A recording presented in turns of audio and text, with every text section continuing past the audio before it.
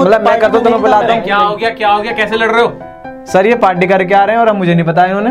तुम्हें कैसे पता इन्होंने पार्टी की है? सर इनके दोस्त ने इनसे चेस बोला है। सर वो मुझे थैंक्स कह रहा था।